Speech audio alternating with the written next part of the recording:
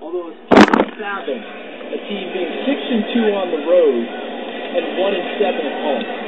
Just that's almost unheard of in the NFL. Livas back, take care punt from Ken Parrish.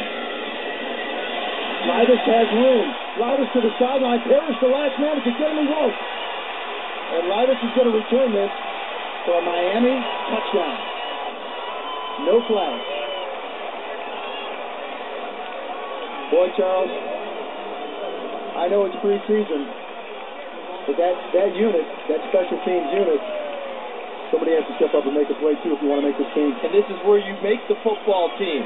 Most of the time when you're a reserve or a rookie, a nice job by Livas running through the attempted uh, the attempted tackle by the punter on that play, Ken Parrish.